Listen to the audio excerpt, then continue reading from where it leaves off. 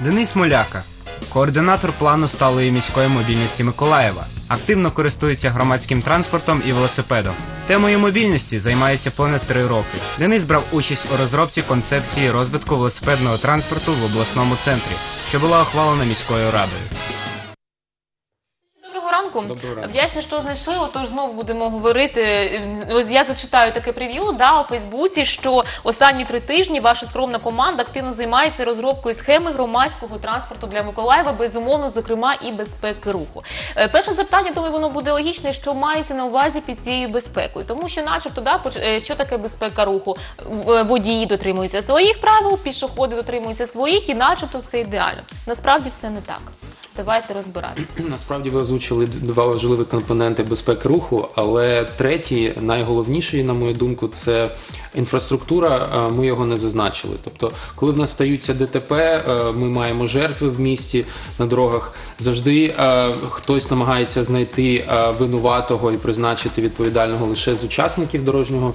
е, ДТП, але не розглядається дорожня ситуація. І що ж не так в самій вулиці, в самій дорогі, в дорозі, в проєктуванні, в інфраструктурі, і що спричинило це ДТП? Е, Головні фактори ризику е, треба шукати на самій вулиці, в інфраструктурі, А, і покладати відповідальність за е, ДТП в місті також на проєктувальників і на тих, хто утримує ці, ці вулиці. Е, Тобто, виходячи із того, що ви говорите, що всі недоліки від того, що е, спочатку неправильно розплановані вулиці наші, правильно? І з-за цього трапляється ДТП. Так, країни світу, котрі е, прагнуть до нульової смертності на, на вулицях, вони відійшли від концепції, е, згідно до якої шукали відповідальних лише учасників ДТП, а почали покладати відповідальність саме на інженерів, проєктувальників і на власників вулиць. І після кожного ДТП проводиться аналіз, що ж спричинило це ДТП, і як в майбутнього в майбутньому е, запобігти ДТП в цьому місці. І інженери почали змінювати конфігурацію вулиці, е, впроваджувати заходи з підвищення безпеки, саме інфраструктурні. А це називаються такі жорсткі заходи. А разом з м'якими заходами, типу освітні заходи, просвітницькі кампанії, і це дає дуже ефективний результат. У нас в місті дуже погано все з інфраструктурою, і це один з головних чинників е, травматизму, ДТП і смертності на дорогах. Дивіться, зараз у багатьох виникло запитання м, змоделювати ситуацію, коли прикладом є того, що винна вулиця. От давайте змоделюємо таку ситуацію, щоб глядачі зр- зрозуміли взагалі про що йде мова. От Тому що сталося, начебто, банальне Б- ДТП, і як тут вулиця буде винна. Ну, дивіться, Давайте один з змоделюємо. факторів, е, головних факторів це підвищення, е, велика швидкість руху. А в нас основні магістралі це такі суцільні концентратори дорожньо-транспортних пригод і смертності на дорогах через надмірну швидкість, через велику ширину смуг руху і через ем, дуже довгі пішохідні переходи, нерегульовані.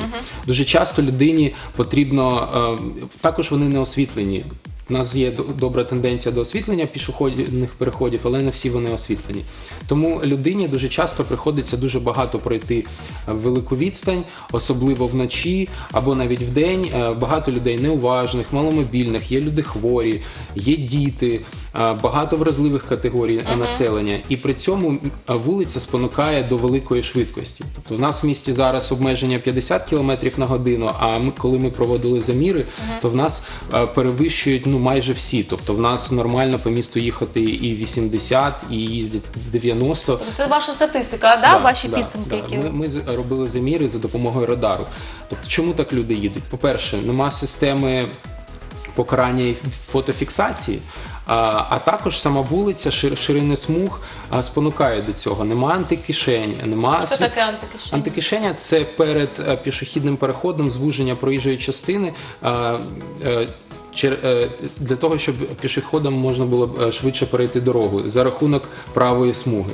Це нормальна стандартна практика. Також на, на небезпечних пішохідних переходах немає світлофорів, наприклад, з кнопкою. Це було б дуже гарним заходом. Знову, для... що ви маєте на увазі світлофори? Світлофор з кнопкою? кнопкою. Наприклад, є в нас нерегульовані пішохідні переходи, де збивають багато людей, де людина має просто пересвідчитися, що немає, що немає машини, але дуже часто цього не стається.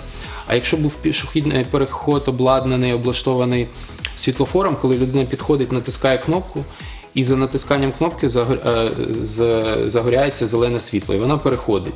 Це б не спричиняло великих проблем водіям, тому що є переходи, де немає великої інтенсивності руху пішоходів, але б дуже б підвищило безпеку руху. Я так розумію, ці моменти практикуються в Європі. Е, Звісно, навіть у нас так? в місті є один такий пішохідний Де він перехід знаходиться? біля, Скажіть. біля залізничного вокзалу по проспекту Миру. Там є такий перехід з кнопкою. Це нормальна практика. А, також е, це правильна розмітка. В нас велика проблема в місті, тому що розмітки майже немає, або вона спроєктована за старими стандартами, яка в жодному е, ну, ніяк не підвищує безпеку. Тобто я б наголошував на тому, що окрім пошуку винуватих е, серед учасників руху, ще покладати відповідальність на місто, розробляти безпечну інфраструктуру, переймати сучасні світові практики, і також залучати експертів інженерів з проектування, які знаються на тому, як підвищити безпеку. Робота йде, тому що дійсно проблем дуже багато, і це справа не одного, не двох і не п'яти років вирішення. І з чого варто розпочинати для того, щоб, хоча б хоч один недолік якось його вдосконалити. Ну, в нашій роботі протягом а, літа ми провели комплексний аналіз безпеки дорожнього руху. Ми працювали з статистичними даними поліції, щоб визначити основні локації в місті, на які звернути увагу. Угу. Найполісніші місця. Давайте на них зупинимося трохи. Дивіться, Як- ду- які це місця? Ми, коли ми почали цю роботу, дуже було складно а, визначити якісь конкретні місця, тому що е, коли ми дивимося на мапу а, ДТП з жертвами, то це просто по всіх проспектах наших основних Так. і магістральних вулицях це просто розтягнені такі а, зони ДТП. Тобто всі жаль. наші проспекти, основні магістралі, це ті місця, на які треба звернути увагу. Окрім а, досліджень а, статистичних даних обробки, ми також проводили польові дослідження. Ми робили заміри а, ширин а, смуг, дивилися, як а, організований рух. І наші спеціалісти на основі цього зараз проєктують 10 ділянок вулично-дорожньої мережі, там, де є проблеми проєктують саме схеми організації дорожнього руху. І ось зараз також проєктується схема організації руху на Карпенка Крилова, де багато заторів.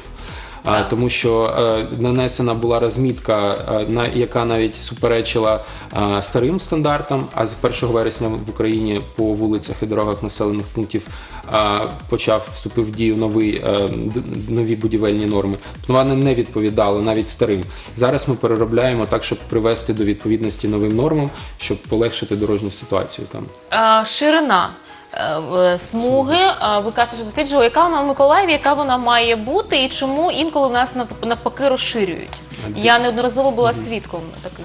Дивіться, а зараз з, з 1 вересня по нових нормах ширина на магістральних вулицях має бути 3 метри. А по старих нормах вона була 3,75. 3,75 по факту це ширина смуги е, траси між містами для швидкості 130 км на годину. А дослідження е, показує те, що а, чим вуща смуга.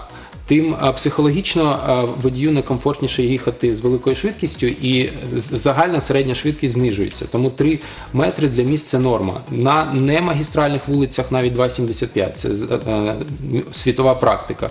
В нас по місту навіть 3,75 а, це інколи навіть рідкість. Є і по 5 метрів Є по смуги. 5, так. І а, ніхто, по-перше, не дотримується а, е, цих смуг. А по-друге, якщо а, людина може їхати з великою швидкістю, вона залюбки поїде, і жодний знак її не зупинить, а, тому що сама дорога спонукає його, натисне на, на газ. А якщо будуть викривлення проїжджої частини спеціальні, які розумні, підвищення проїжджої частини на пішохідних переходах, з, з, збільшення, зменшення радіусів поворотів, на, на перехрестях, де автомобілі дуже швидко в'їжджають в поворот. Ці заходи сприятимуть е, зменшенню кількості ДТП. І ми нічого не хочемо вигадувати. Ми просто хочемо брати практику світову, яка вже діє, яка вже обґрунтована, і почати запроваджувати її в Миколаєві, тому що зараз ми досі живемо по схемах, по проектах, які вже втратили свою чинність або взагалі морально застарілі. Так, тобто проект є.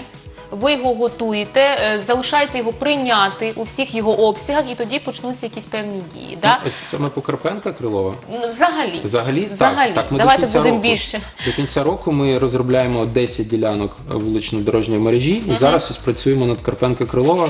Вчора я був в поліції е, з представниками е, управління транспорту, КП «Ексмеп». Е, Ми розглядали цю розмітку, приймали зауваження від поліції, доречні зауваження. Далі наші інженери допрацюють. І ми можемо віддати місту цю схему, щоб місто вже її впроваджувало. Так і по інших ділянках ми зробимо схеми організації руху, а також ескізні проекти реконструкції, як вулиця в ідеалі має виглядати, щоб мінімізувати вірогідність ДТП. А вже місто повинно брати цей інструмент і впроваджувати його. Але це знаєте, як Це, тобто, прописати ліки вже- хворому. так, так, Ти йому прописуєш, робиш діагностику, і він вже, якщо має волю і бажання лікуватися, то він буде. Так і про наше місто. Тобто ми зробимо якісні е, дослідження, дамо місту можливість їх впровадити, е, напрацювання і дамо інструменти, як е, вирішити проблему, зменшити хоча б Я її серйозність. Я сподіваюся, що вдасться. Ну я вдячна вам за вашу роботу. Сподіваюся, що прогнози будуть не туманні, що ми все таки будемо мати конкретний результат того, що ви втілюєте. Тому що робота ведеться гарно, робота непогана. А хочеться побачити на власні очі, що з цього вийде. Дякую вам, Денис Моляка, був у нас в гостях, координатор плану сталої міської мобільності Миколаєва. Сподіваюся, що ми будемо їздити на гарних вулицях міста Миколаєва. Що ДТП буде набагато менше за статистикою ніж ми маємо на сьогоднішній день.